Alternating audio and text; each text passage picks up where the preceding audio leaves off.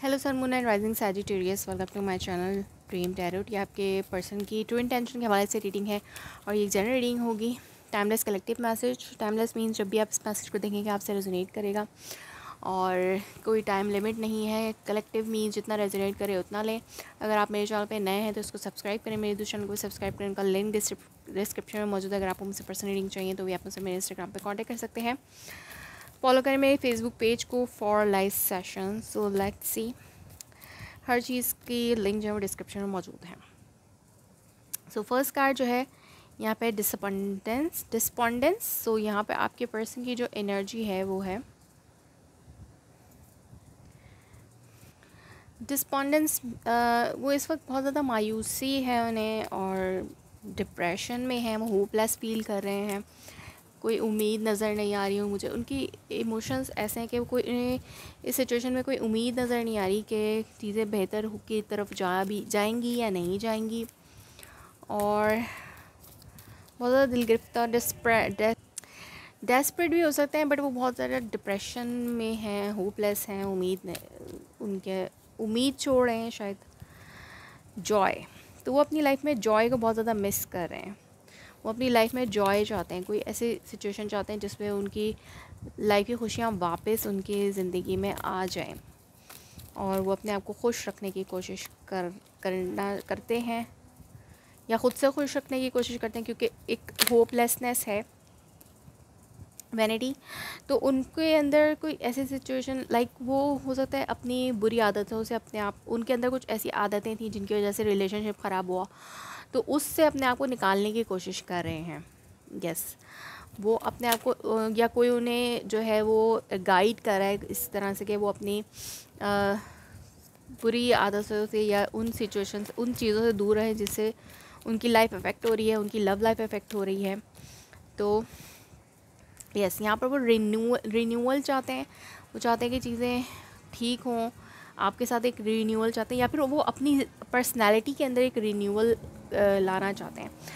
वो चाहते हैं कि चीज़ें अच्छी हों, बेहतर हों मींस के दोबारा से एक नई सिरे से शुरू करें। अगर वो इस रिलेशनशिप में रिन्यूअल चाहते हैं जॉय चाहते हैं तो वो चाहते हैं कि इन सब चीज़ों को आप माफ़ कर दें। अगर उन्होंने कोई ऐसा कुछ किया है जिसकी वजह से उनके रिलेशनशिप बहुत इफ़ेक्ट है उनकी अपनी आदतों की वजह से तो वो चाहते हैं कि आप उनको उन सब चीज़ों को भूल कर आगे बढ़े रीन्यू करें इस रिलेशनशिप को।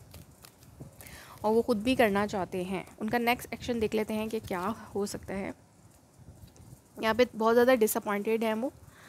हो सकता है यहाँ पे थर्ड पार्टी सिचुएशन हो सकता है उनको थर्ड पार्टी रखने का ज़्यादा शौक़ था, जिसकी वजह से इस रिलेशनशिप में अब वो बिल्कुल उम्मीद खो चुके हैं कि इस रिलेशनशिप में कोई रिन्यूअल होगा, लेकिन वो चाहते हैं ऐसा। तो इस, इसलिए वो इस थर्ड पार्टी से बहुत ज़्यादा डिसपॉइंटेड हैं।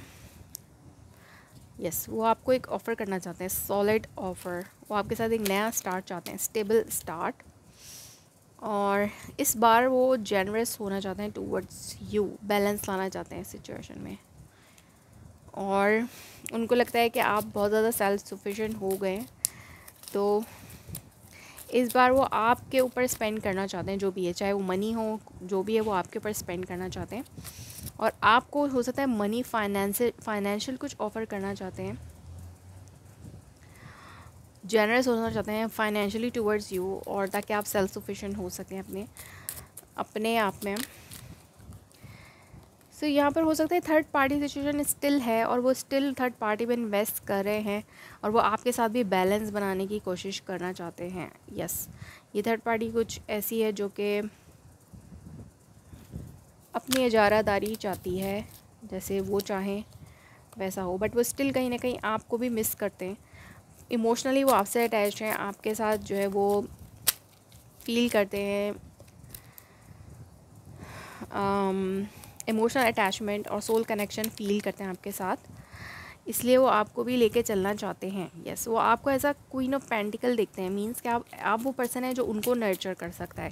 बट थर्ड पार्टी के साथ उन थर्ड पार्टी को वो उन्हें नर्चर करना पड़ता है। लाइक like, उनको थर्ड पार्टी को नर्चर करना पड़ता है। लेकिन आप वो पर्सन है जो उनको नर्चर करता है। लाइक like, उनको उनको स्टेबल करता है उनको सहारा देता है उनको सपोर्ट करता है। तो वो स्टिल जो है वो डिसाइ इनडिसाइसिव ही हैं। अभी भी उन्होंने कोई डिसीज़न नहीं लिया, लेकिन उनको उनको पता है कि उनकी इमोशनल लाइफ के लिए कौन बेहतर है। और यहाँ पर जो भी थर्ड पार्टी है, वो वहाँ पर मनी इन्वॉल्व है। तो हो सकता है वो मनी उनको सपोर्ट करते हैं मनी से सपोर्ट करते हैं या कुछ ऐसा, है। उनकी रिस्पॉन्सिबिलिटी है फाइनेंशियल रिस्पॉन्सिबिलिटी है उनके ऊपर के। वो उस पर्सन को सपोर्ट करें या उनकी फैमिली भी हो सकती है। तो यहाँ पे स्टिल वो आपको मिस करते हैं। और अभी भी डिसाइड नहीं कर पा रहे हैं कि वो उन्हें किस तरफ़ जाना है। यस इसलिए वो नाउमीद से हो रहे हैं। बट यहाँ पे आपके साथ जो है वो हो सकता है कि ब्रेकअप सिचुएशन चल रही है। वो आपको भी साथ साथ लेके चलना चाहते हैं बट वो ऐसा हो नहीं पा रहा। उनके हार्ट मैसेजेस देख लेते हैं। क्या है? I don't react when people mention you जब लोग आपके बारे में बात करते हैं तो वो कोई रिएक्शन नहीं देते। हो सकता है लोगों को आपका पता हो। और वो नहीं चाहते हों कि इस सिचुएशन का लोगों को पता चले जो भी है। तो इसलिए वो कोई रिस्पॉन्स नहीं देते हैं। We both know I am not the one for you तो उनको लगता है कि हम दोनों ही ये आप और वो दोनों ही ये समझते थे कि वो आपके लिए सही पार्टनर नहीं है। तो इसलिए उनको भी, इसलिए भी ऐसा लगता था और वो, तभी उन्होंने थर्ड पार्टी रखी। अपने साथ। या उन्होंने शादी कर ली। इस तरह की कोई सिचुएशन है। You speak to me through music तो जब वो म्यूज़िक सुनते हैं तो आपसे, आपके बारे में सोचते हैं।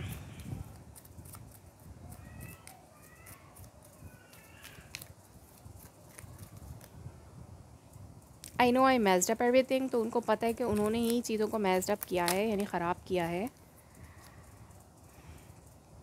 I cannot stop thinking about you. Just being near you is intoxicating. तो आप आपके साथ रहना उनको ऐसा लगता है कि नशे की तरह है। आपसे दूर जाना दूर नहीं जा सकते। जैसे नशे को नहीं छोड़ा जा सकता था वैसे आपको भी नहीं छोड़ा जा सकता। सो so, ये सब उनकी थिंकिंग है जो वो अपने दिल में है उनकी बातें जो आपसे कहते नहीं हैं इस टाइम और उनके दिल में इस वक्त में आ रही हैं। So that was your reading. If it resonates you, please let me confirm in a comment below. Like my video, subscribe my channel. Thanks for watching.